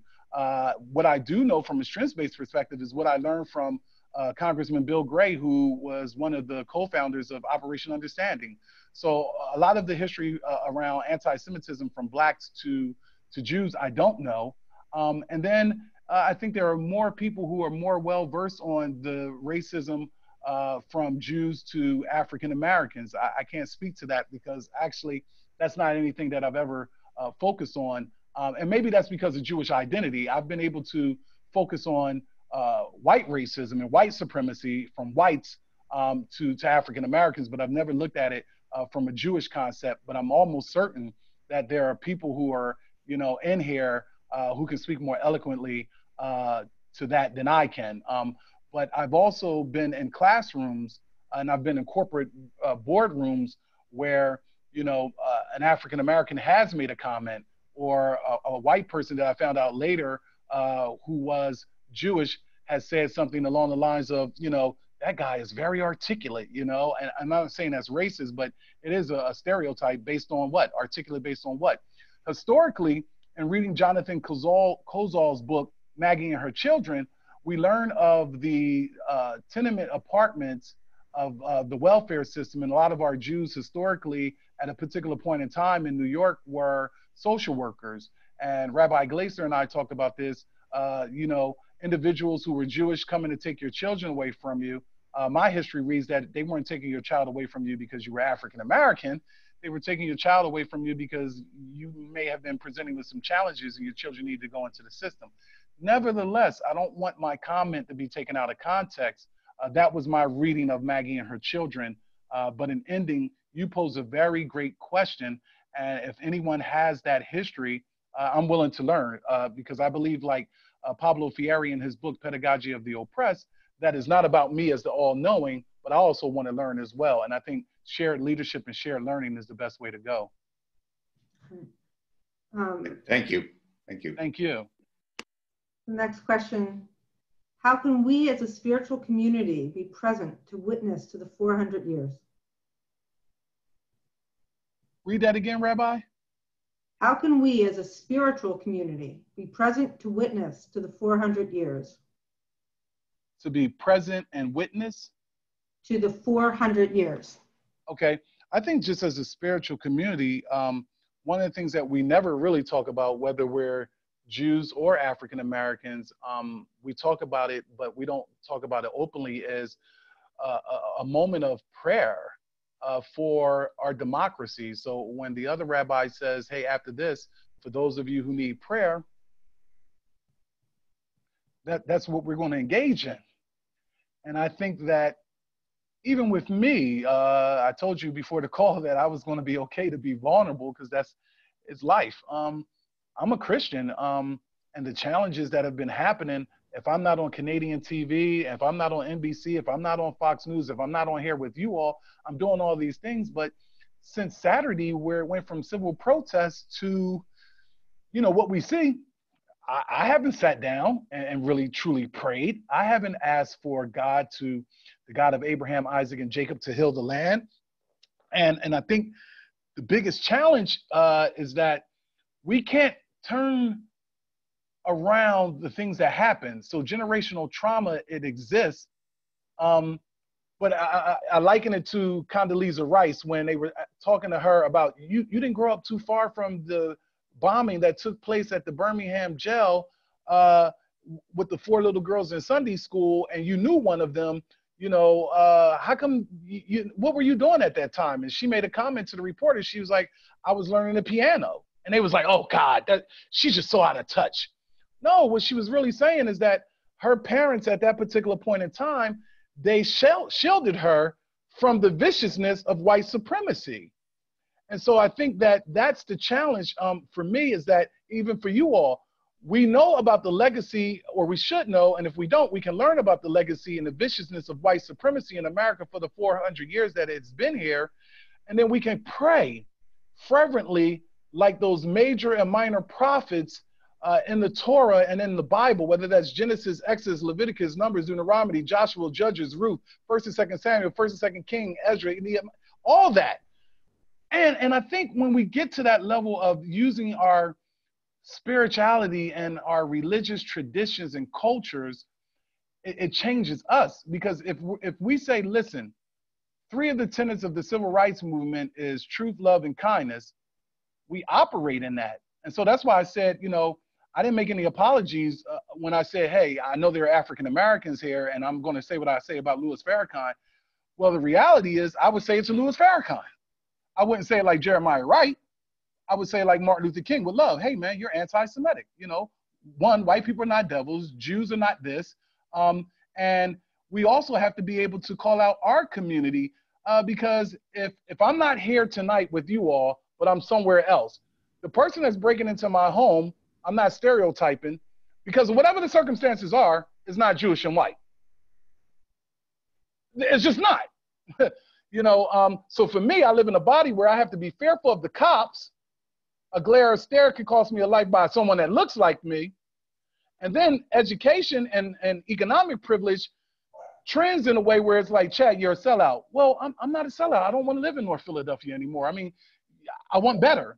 And so I just think that we pray. I think that we pray. That's why I opened up with the, the statement that I had uh, with regards to, you know, um, Isaiah, who will go? I, I will go, send me. Um, but it's painful. You know, I have not, I've been able to intellectually compartmentalize it, you know, because I got a trend with these interviews. I got a trend with uh, the burden of all this stuff. But at the end of the day, I'm, I'm hurting because another black male uh, lost his life um, at the hands of the state. Um, and then the African American community will get mad at me because I don't believe in rioting and looting. And that's why I say King's con, con the context of King's quote, the, the riots are the language of the unheard, but but not in this way. I don't believe it's in this way, whether that's agent provocateurs or not, whether it's interlopers or not. You you couldn't come in my household with a pair of sneaks, which I did, and Sergeant Lassiter said, "Where did you get those from?" And I lied. The last time I lied. I said, "Oh, Dad, you know I'm on the basketball team. Coach gave them to me." He said, Well, how come your cousin didn't come in with the same pair of sneaks? Where did you get those sneaks? Cousin Kenny, he gave them to me. Cousin Kenny was one of the biggest drug dealers in and around uh, Hunting Park on 8th, 8th Street, 8th and Butler. My dad said, Take them sneaks down to him. I said, Okay. I took them off and went to go put on another pair of sneaks. Sergeant Lassiter said, No, no, walk down there barefooted. Barefooted? I said, Mom? She said, You heard your dad. Now, I don't know if it was the PTSD that Mother Lassiter didn't want to engage in him, and, and wanted me to do what he said, but I think it was the moral compass of the household. So you loot, you burn down the city of Philadelphia, you come in a house with one TV, and, and I'm not stereotyping or generalizing. I know this for a fact. Uh, a parent says, "Why did you only get one?" Or uncle says, "I told you LeBron James is in size 14. Why do you have these?" Well, uncle, we can still sell them. That's not cute. That's disgusting. That's appalling. And I said the other day on Fox News 29 with Senator Vince Hughes that in East Oak Lane, and I was very clear to give where I live, in East Oak Lane, at the CVS on Broad and 66, my 79 year old mother on Monday was going to go there, and the Holy Spirit told me to tell her, don't go, and they had robbed the CVS. And just like I'm looking at you, I said, I'm saying to the, the individuals out there who engage in misbehavior for whatever reason, I'm a nonviolent person, but I had I been at the CVS with my mother, I would have protected her by any means necessary. Now, I've already disclosed to you all I don't know how to fight, so I'm glad nobody has come after me because I wouldn't know what to do. so, Chad, I, I particularly want to highlight your call for us to stand together in coalition. Yeah. And I, I think as we do that, we need to bring who we are. We need to, to really however we engage, we need to get engage as ourselves. Right? Deepen your understanding of the issues. Read. If you read novels, read novels. If you read policy, read policy. If you listen to podcasts, listen to podcasts. If you love art, explore what Black art is. If you love music, explore the roots of Black music. Learn about histories and cultures and foods. You know, whoever it is that you are and what you love, engage with it, understanding that there's so much to learn from the Black community's experience and Black community's culture. Um, take the lens of racism and put it over what you see. So I, am going to give you my example. My this is this is this was a powerful example in my life, and frankly, it was fairly recent for me. As a Jew, George Washington's quote to the community, the Jewish community in Rhode Island, right? To bigotry, no sanction. The United States gives to bigotry, no sanction. As a Jew, that's a really powerful and meaningful quote for me. Mm. And then you look at that quote and you remember that that man owned slaves. Wow. What do I do with that? Yeah. Welcome to the contradictions of the world. Yeah. Take that lens when you read an article in the newspaper and how would this be if I were Black? What does this mean for the Black community? You can do it for other communities too, right? What does that crack in the sidewalk mean if you're disabled and you can't get your wheelchair across it, right? Bring, bring who you are and look and, and your empathy and look through other people's lives and stand together. And I'm very grateful to you, Chad, for joining us tonight. I look, I am so grateful to you for being my partner in so many ways and for being an inspiration. Um, and I am grateful to everyone who participated in the series of conversations and this conversation this evening. And as we know, this is not the end of the conversation, this is the beginning. Um, and I look forward to working with you all going forward. Um, I hope this evening's conversation has, has bolstered hope um, and a sense of direction for all of us. And, and Abe and Annie, thank you for continuing from this moment into a spiritual space. Uh, thank you, Batya. Um, and uh, I want to thank you, Chad. I've been so uh, touched this evening, and my uh, eldest daughter has been with us as well. Um, oh. So touched this evening by your honesty, by um, the your by your sharing your truth, and um, I just you know my my prayer is that all of this uh, COVID nineteen should pass as quickly as possible so I can meet you in person and actually give you a hug, um, which is, uh, but, I'm, but I'm, my heart is hugging right now, Chad. It's, um, it's been so meaningful to have you with us. And uh, to all of you from BZBI and from the broader Philadelphia community, thank you all for joining us tonight.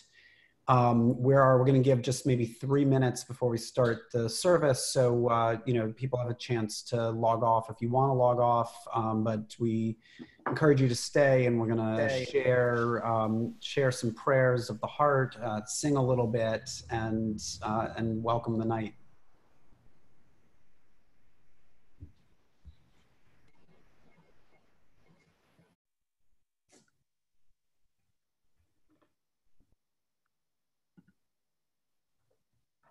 bölümleri.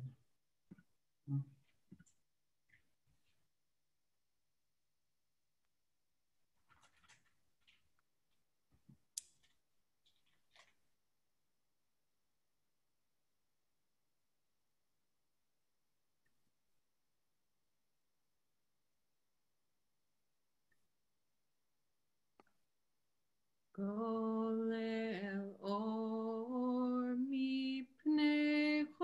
Joseph, de Joseph.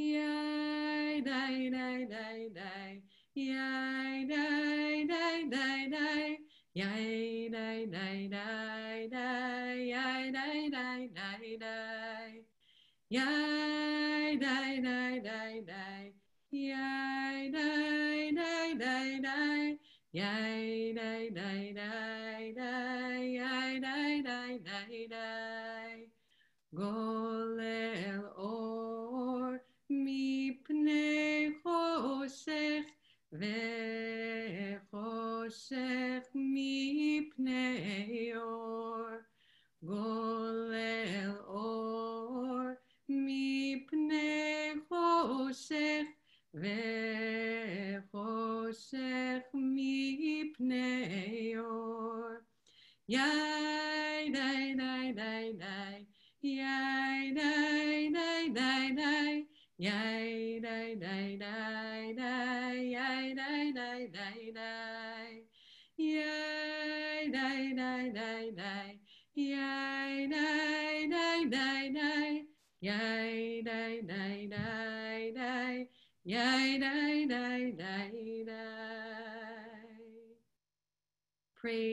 to the one who rolls darkness away from light and light away from darkness and darkness into light and light into darkness.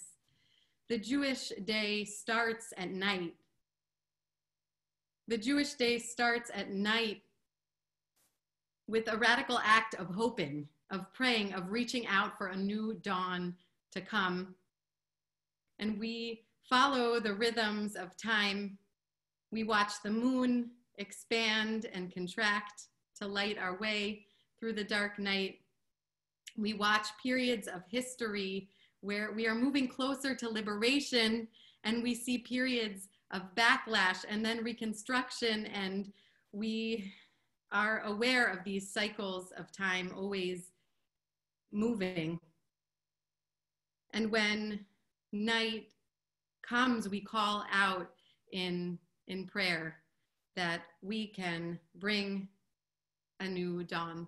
We have so much work to do. And thank you, Chad, for, for being with us and inspiring us as we commit to this work to do in our Jewish community.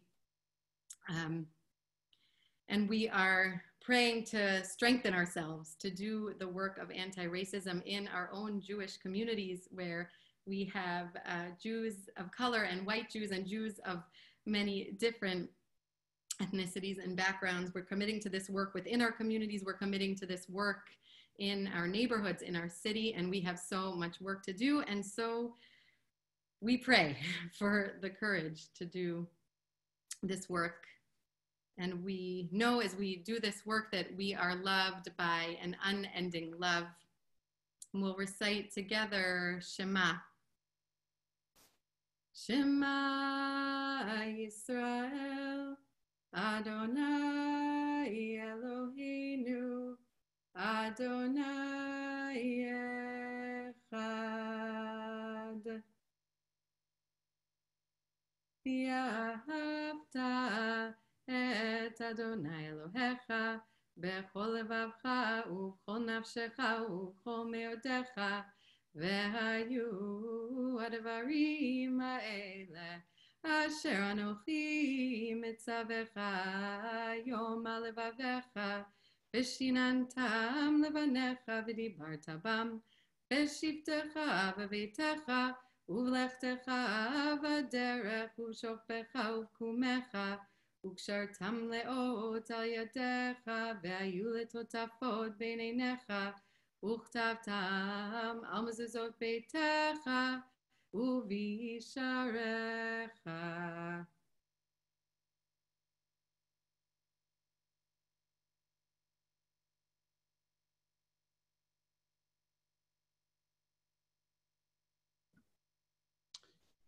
When I was a kid, um, I had a babysitter who shared that her nightly ritual was uh, to ask God to take her troubles from her so that she could sleep. Um, you know, to to lift her worries and her cares so that she could sleep peacefully for the night. Um, and she told me that she always promised to take them back in the morning and I, and I was thinking about her today and thinking about that ritual and thinking about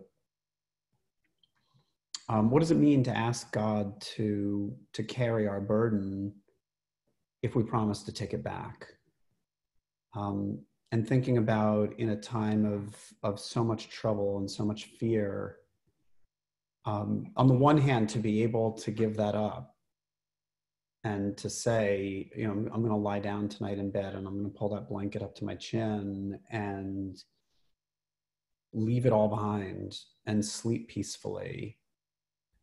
Um, and thinking about what it would mean, you know, in that bargain with God, if we only get to do that if we're willing to pick up that burden again in the morning, right? If if if the peace of mind that we seek to sleep for tonight, if we only deserve that if we are willing to pick the burden back up and to say, I'm not going to look away forever. I'm not going to pretend that I don't see the pain that I see in the world. But, you know, between 10 o'clock tonight and 5.30 tomorrow morning, I'm not going to do anything about it. There's nothing for me to do about it um, and and more than that to pray to god and to say god let me rest so that i'll have the strength to continue the struggle let me rest so that i'll have the wisdom to teach and to learn. Let me rest so that i'll have the courage to speak truth and the courage and the compassion to listen to truth. And so we ask God, Hashkivenu, lay us down, tuck us in, divine parent, divine babysitter. Lift our burden, hold our burden, hold us, and tuck us in. And let us rest this night safe from fear so that we can get back to work tomorrow.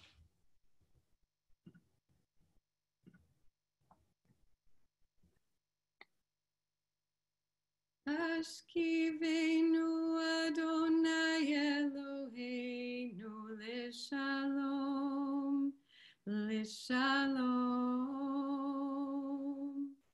Ve'amitenu Malkeinu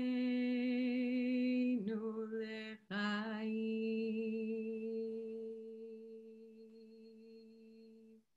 Ufros aleinu sukat shlomecha, ufros aleinu sukat shlomecha. Amen.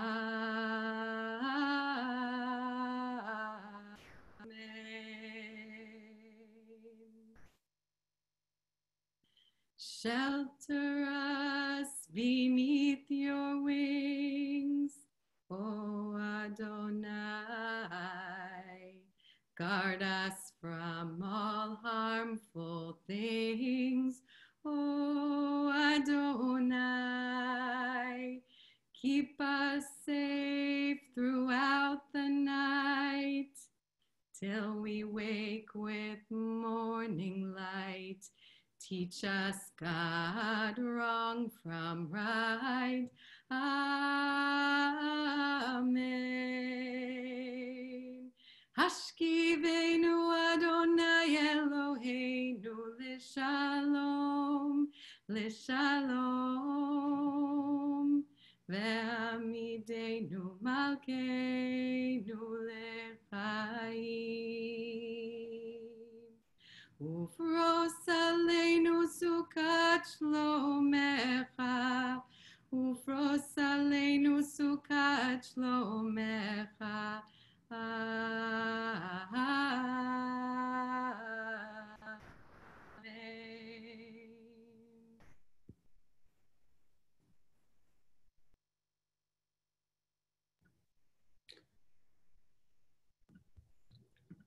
some time now for personal reflection. Um, some may want to recite the Amidah for Ma'ariv or just to sit for a few minutes in quiet meditation.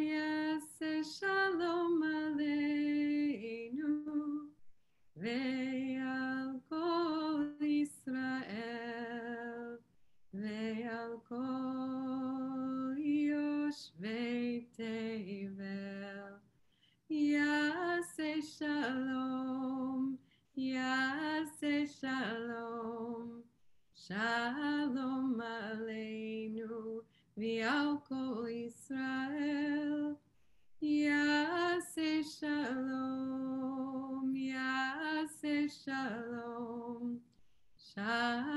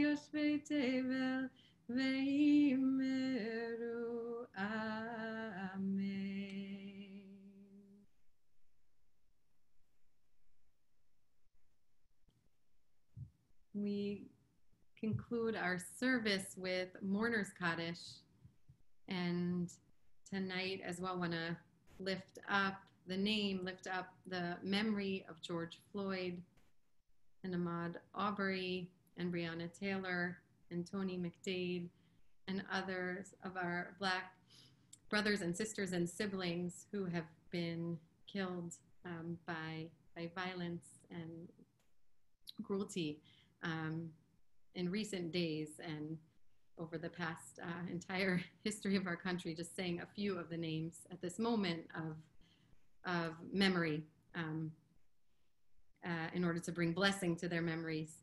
Uh, want to also uh, invite if anyone is marking a yahrzeit tonight or um, saying Kaddish, if you'd like to share a name of someone you're remembering, um, you can uh, unmute yourself or, or put in the chat box.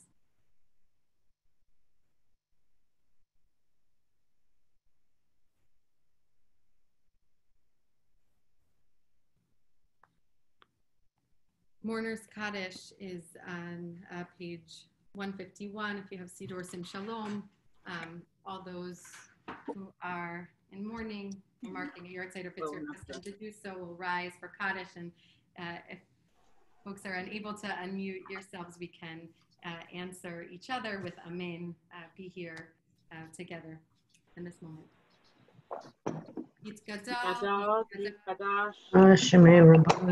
Yitzgadal, Shemay Rabban. Achirute v'yamlech malchute. Yechonu v'yamechon Yisrael d'chol beit Yisrael. V'hadallah u'vizman kari v'yimru Amen. Amen.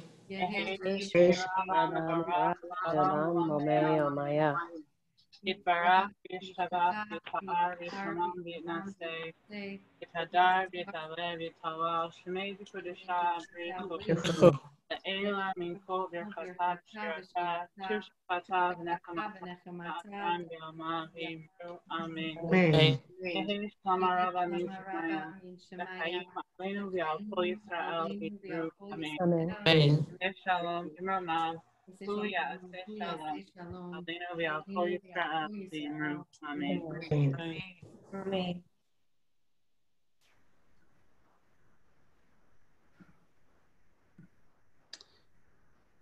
Uh, as we conclude tonight, I was struck by um, Chad Lassiter this evening talking about being a prisoner of hope. Um, and I, have never heard that expression before. I've been thinking about um, like what that might mean, what that experience might be like. And so I want to I want to pray for all of us tonight um, that we should also be captured and held by hope. And um, in those moments where we feel like we're losing hope, um, that that hope shouldn't lose us. And and that and even if we um, you know if if we're not feeling hopeful um, then perhaps we can find that hope is still feeling us um, and that and that in in that yearning, in asking that question, right? Um, it's in the Psalm Ma'ayin Yavo Ezri, where will my hope come from? That in in the looking is the finding as well. And that and that even even in those moments, right? Because it is it is always just a moment. In those moments where we lose hope, that hope won't lose us. thank you all for sticking around to be with us. Thank you, Rabbi Annie, for a beautiful davening tonight.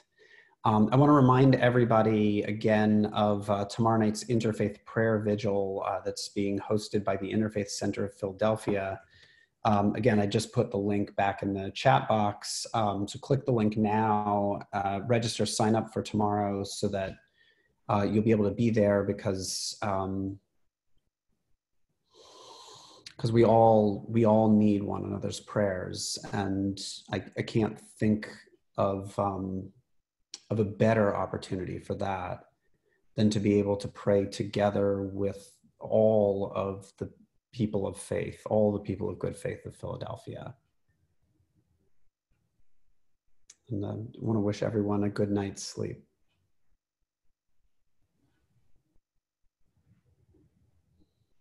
Thank you, Rabbi Abe and Rabbi Annie. Thank you, thank you Arlene. Uh, thank you. Halamot Paz. Thank you. Thank you. Good night. All right, good night everybody